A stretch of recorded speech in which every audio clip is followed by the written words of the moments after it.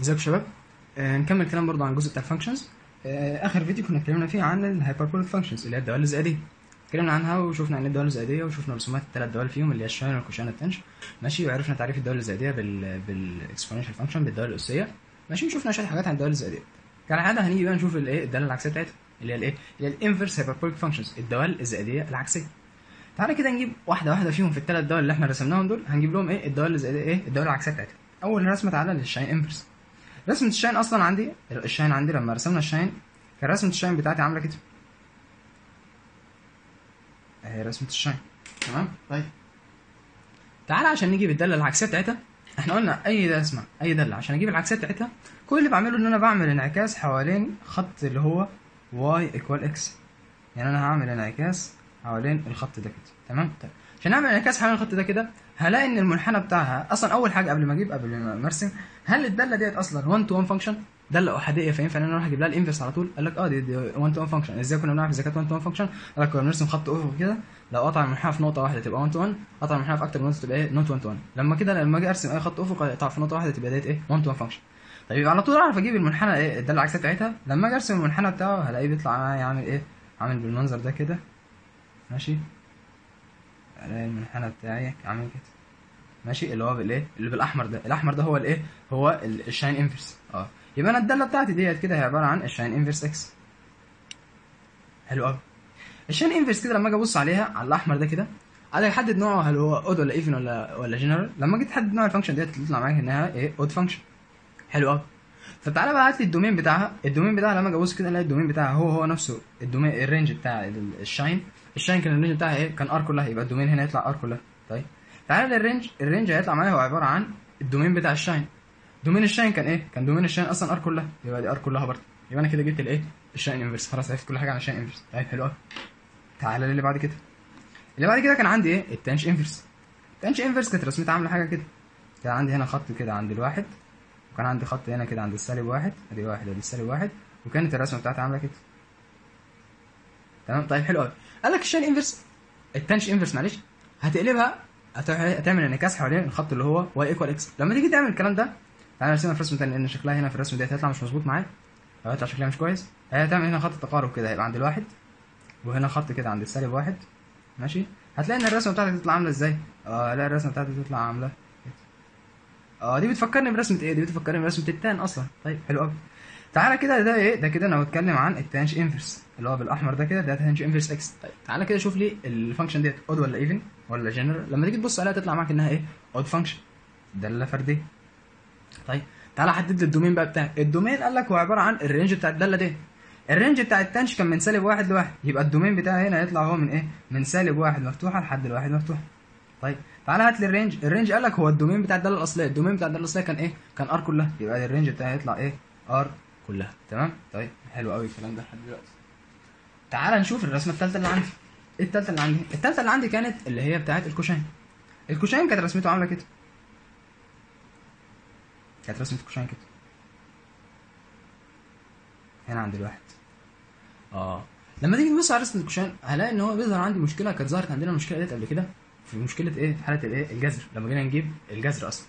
إيه المشكلة اللي ظهرت عندي؟ المشكلة اللي ظهرت عندي إن ديت كده not 1 to 1 function لما ارسم أنا خط افقي كده هيقطع في نقطتين. فأنا محتاج إن أنا أعمل restriction لل domain محتاج إن أنا أقص ال domain بتاعي ماشي؟ أخد جزء بس معين منه هجيب عليه ال inverse بتاعته يعني إيه؟ قال لك اتفقوا إن هم هياخدوا الجزء الموجب زي ما عملنا في إيه؟ في الجزء بتاع الجذر. يعني يعني هلغي الجزء ده كده خالص مش هاخده معايا. وهاخد بس الجزء الموجب ده كده وهحط لك restriction على ال domain فبالتالي هتلاقي إن الرسمة بتاعتي تطلع عاملة كده. من عند الواحد كده أهي تبقى عاملة كده. بس. وتحط لي هنا تقول لي ديت دي رسمة ال cosh X بس في حالة إن ال X أكبر من أو بتساوي ال zero يعني أنا هاخد بس الجزء اللي حلو قوي ده عند الواحد. طب وبعدين قال لك عشان تجيب ال cosh inverse اعمل انعكاس حوالين الخط ده كده. لما تيجي تعمل انعكاس حوالين الخط ده كده هتلاقي إنها تطلع عندي هنا من عند الواحد كده تطلع إنها إيه عاملة كده بالمنظر ده كده عند الواحد آه الأحمر ده اللي هو الإيه ال cosh inverse X حلو قوي يبقى أنا ال cosh إيه اللي حصل عندي؟ عملت restriction لل domain عشان أصلا ال cosh كانت إيه كانت not 1 to 1 function ما كانتش دالة أحادية. حلو قوي طيب. بعد كده قال لك تعالى حدد لي بقى الخواص بتاعتها. هل هي odd ولا even ولا جنرال لما تيجي تبص عليها كده تلاقيها لا هي odd ولا even فبالتالي تطلع إيه؟ general function حلو قوي وبعدين تاني حاجة. قال لك تعالى هات لي ال domain بتاعي.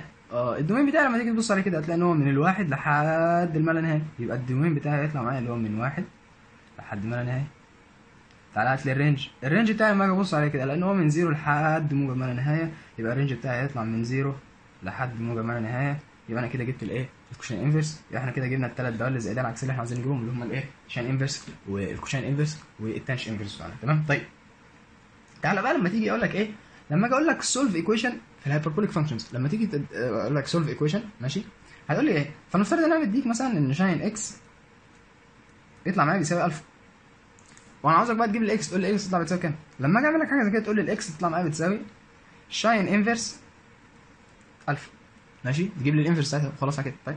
لما أقول لك tanh X بتساوي 1000 تيجي تقول لي ال X تطلع معايا بتساوي إيه؟ ال X تطلع معايا بتساوي tanh inverse alpha حلو قوي تعالى بقى للمهم. لما أقول لك cosh X equal alpha وأقول لك X هتقول لي ال X بتساوي cosh inverse alpha بس ركز معايا في حاجة مهمة جدا. أنا هنا بحل معادلة. ال cosh X قيمة ال X هتطلع لي كام؟ عندي قيمتين ل X ممكن يطلعوا إيه؟ الناتج هنا. حلو قوي يبقى ال cosh inverse دي هتطلع لي ناتج واحد بس. بس ما تنساش إن أنا عندي هنا ناتج موجب وناتج سالب. فبالتالي أقول لك ال X هتطلع بتساوي موجب أو سالب موجب أو سالب cosh inverse إيه؟ ألفا. لأن ال cosh inverse لوحدها هتطلع لي ناتج واحد. بس أنا عندي قيمتين قيمة موجبة وقيمة سالبة. بتقول لي إيه؟ في إيه؟ بره إيه؟ موجب أو سالب. تركز معايا كويس جدا. في فرق بين قلت لك ناتج القيمة آه ناتج الدالة وبين ال- حل المعادلة. لما تقول لي الدالة دي قيمتها كام؟ الدالة دي هتطلع لي ناتج واحد بس. طب لما أحل معادلة؟ آه لا حل المعادلة ممكن يطلع عندي إيه؟ أكتر من حل. ما عنديش أي مشاكل. تمام؟ طيب. إيه تعالى نشوف هنعمل إيه. يجي لك مثلا مسألة زي كده ويقول لي solve ال equation دي. يديني مثلا يقول لي 3 sinh X زائد cosh X equal zero ويقول لي حل المعادلة دي. لما يجي لك معادلات في الدوال الزائدية عاوز تحل معادلات في الدوال الزائدية دي تعمل إيه؟ قال لك لما يجي لك حاجة زي كده تحاول إن أنت عندك سكتين. أول سكة هي إن أنت تحاول تخلي الدوال كلها ديت تخلي المعادلة كلها في دالة واحدة بس. يا كلها sinh يا كلها cosh يا كلها tanh عشان تعرف تحلها. الأسهل إن أنت تحاول تخليها يا sinh يا cosh- يا sinh يا tanh بلاش ال cosh لأن ال cosh طالع نتيجة. فالأسهل أخليها إيه؟ يا sinh يا tanh طيب حلو قوي في المسألة ديت هل ينفع إن أنا هعرف أخلي ديت كده تبقى tanh آه تبقى cosh كلها؟ صعب. هل أعرف أخليها sinh كلها؟ ما أعرفش. لا هل ينفع أخليها tanh آه ممكن أخليها tanh إزاي؟ قال لك ممكن تقول لي الكلام ده بيساوي 3 sinh X. 3 sinh X بيساوي ودي دي الناحية الثانية يبقى دي سالب cosh X. إزاي أخلي ال sinh دي تبقى tanh عشان أخلي ال sinh دي تبقى tanh هقسم عليها cosh يعني اقسم لي هنا على cosh X كده. واقسم لي هنا كمان على cosh X اقسم بقى المسألة كلها على cosh X هلاقي إن هيطلع لي هنا 3 tanh X بيساوي سالب واحد صح؟ يبقى ال tanh X بتساوي كام؟ tanh X هتساوي سالب واحد على 3 آه أنا عاوز ال X لوحدها يبقى تقول لي ال X هتساوي tanh inverse سالب واحد على 3 وال tanh inverse أصلا كانت odd function فبالتالي السالب ده كده ممكن اطلعه بره. يعني أنا أقدر أقول لك إن هو بيساوي سالب tanh inverse واحد على 3 خلص المساله بتاعتي على كده. تمام؟ طيب. يعني نشوف حاجة كمان. يجي لي حاجة زي كده يقول لي sinh تربيع X minus 3 cosh X زائد 3 equal 0 احاول إن أنا أعمل إيه؟ احاول إن أنا أحل المسألة كلها أحاول المسألة كلها إنها تبقى يا sinh يا كلها cosh هل أعرف احول المسألة دي كلها أخليها sinh؟ صعب. هل ينفع أحاول أخليها كلها cosh آه سهل. أعرف أخليها كلها cosh إزاي؟ ال sinh تربيع ديت أنا أعرف أشيلها بالقانون بتاعي خير إزاي؟ قال لك القانون بتاعك قال لك cosh تربيع minus sinh تربيع بيساوي واحد. يبقى أنا لما أحب أشيل ال sinh تربيع أحط مكانها إيه؟ أحط مكانها cosh تربيع x minus واحد وهنا minus تلاتة cosh x وهنا زائد تلاتة equal zero لما تيجي تبسط الشكل ده كده يطلع لك معاك تلاتة cosh تربيع x minus تلاتة cosh x زائد اتنين بيساوي zero. تعال نحلل هيبقى عندي هنا cosh x ماشي؟ وهنا cosh x equal zero وعندي هنا سالب اتنين وهنا سالب واحد. يعني ال cosh x إما بتساوي اتنين يا إما ال cosh x بتساوي كام؟ بتساوي واحد. آه. إمتى ال cosh x تطلع بتساوي واحد؟ قال لك في حالة واحدة بس إنها ال x بتساوي كام؟ بتساوي zero. دي الحاجة الوحيدة الحاله الوحيدة عندي اللي تطلع لي ال cosh بتساوي واحد. خلاص دي كده. طب إمتى ال x بقى؟ إمتى ال cosh x بتساوي اتنين؟ قال لك هتجيب ال inverse يبقى تقول لي ال x هتساوي cosh inverse اتنين. بس ما تنساش تحط لي بره إيه؟ موجب أو سالب. يبقى هم دول الحلين بتوعي. إن ال x إما بتساوي zero يا إما ال x بتساوي موجب أو سالب إيه؟ cosh inverse اتنين. تمام؟ طيب. تعال نشوف حاجة كمان. لما يجي لي حاجة بالمنظر ده. يقول لي 8 sinh x minus 4 cosh x equal واحد. عاوزك تحل لي المعادله دي. آه بتصرف أحاول أحاول إن أنا أعمل إيه؟ أخلي المعادلة كلها يا cosh يا cosh يا tanh يا sinh. أي حاجة المعادلة كلها تبقى في دالة واحدة. هل أعرف؟ قال لك لا هنا مش هتعرف. ليه؟ في أول مسألة كان عندي هنا الناتج ده بيساوي zero فعرفت أودي دي الناحية الثانية وأقسم على cosh ضيعت ال cosh وبقت كلها tanh اللي فاتت كان إيه؟ كان في sinh تربيع شلتها وحطيت مكانها cosh تربيع minus واحد خليت المعادلة كلها cosh هنا هعرف أتصرف فيها قال لك مش هتعرف. قال لك في حالة إن أنت ما تعرفش تتصرف في المعادلة ان أنت تخليها كلها في دالة واحدة بتضطر إن أنت تلجأ إن أنت تفكها لي بال e بالقانون بتاع ال e يعني إيه؟ يعني هتفك لي ال sinh ديت كده ترجع لي 8 وتفك لي ال sinh ديت بال e بقى e أس x minus e أس سالب x على الاثنين minus 4 في هنا e أس x زائد e أس سالب x على الاثنين الكلام ده كله بيساوي واحد. اضرب بقى هنا كده يطلع لي هنا 4 اي اس إكس minus 4 e أس minus x هنا minus 2 e أس x minus 2 e أس minus x بيساوي واحد. اضرب لي المعادله كلها في أس x عشان اضيع الاس السالب ده كده لما اضرب المعادله كلها في أس x يطلع لي هنا 4 معلش هنا يطلع. لما اضرب أصلا لما اجمع هنا واضرب هيطلع معايا 4 اي اس إكس ماينس 2 اي اس إكس يطلع لي كام؟ يفضل لي 2 اي اس إكس وسالب 4 e أس سالب x وسالب 2 e أس سالب x يطلع لي هنا minus 6 e أس minus x الكلام ده كله بيساوي واحد طب وبعدين اضرب بقى المعادله كلها في e أس x عشان اضيع السالب ده كده الاس السالب ده يطلع لي هنا 2 اي اس 2 x minus 6 ماشي آه معلش معلش أنا آسف. لما أضرب هنا في e أس x يطلع لي 2 ماشي؟